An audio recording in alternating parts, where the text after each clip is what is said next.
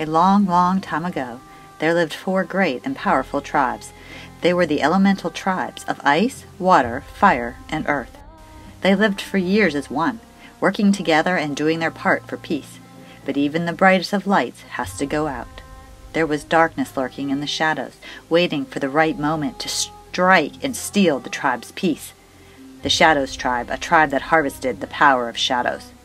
Their ruler was wicked and wanted nothing more than to take away the others' power and peace. So the Shadow tribe went to the other four tribe leaders and demanded full control over their world.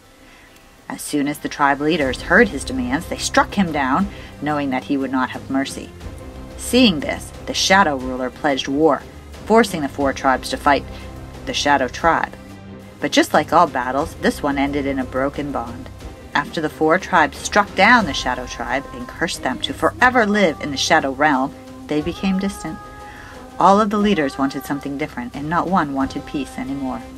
The events of the war brought even more war.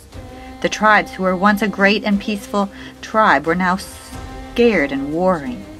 But yet there is always light in the shadows. A year after the Great War of Shadows, a prophecy was told that could end the four tribes' conflict. The prophecy said that soon the Shadow tribe will rise again, and one of each elemental tribe will have to come together and bring back the peace that was lost so long ago. That they will defeat the darkness and bring back the light. They will unite the four tribes and finally end the war that's been going on for too long.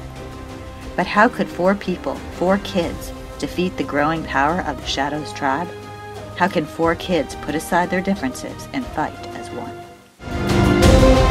Thank you